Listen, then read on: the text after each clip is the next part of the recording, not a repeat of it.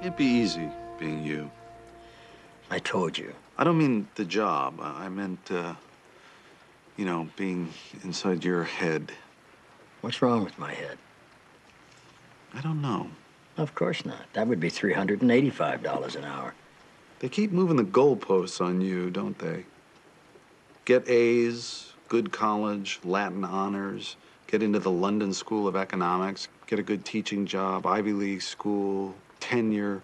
Now you got to publish. Now you got to go to Stockholm. It's not good for a person to keep setting goals. Uh, it probably is, but it's tricky for somebody who's still trying to get his father to stop hitting him.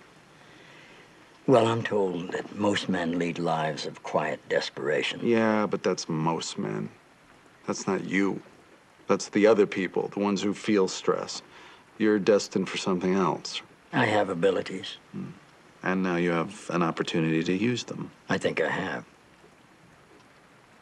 That room I passed down the hall on the left, it's got a name, right?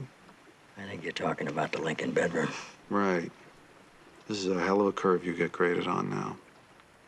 Lincoln freed the slaves and won the Civil War. Thank you. Next. And what will you be singing for us today, Mr. Bartlett?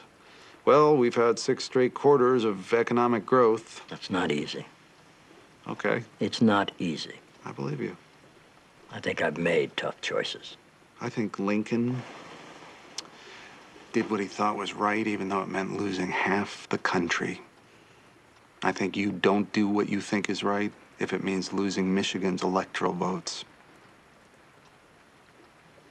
You don't know anything. I'll be the first to admit that. I'm not trying to get my father to like me. Good. Because it's never, never gonna happen. Look, We're done for the night.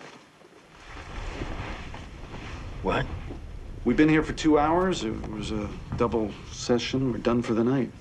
Stanley, I hate to put it this way, but I'm me and you're you, and we're done when I say we're done.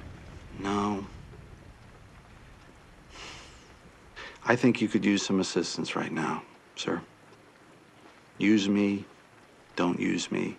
But all I can offer you is this I'll be the only person in the world, other than your family, who doesn't care that you're the president. Our time is up.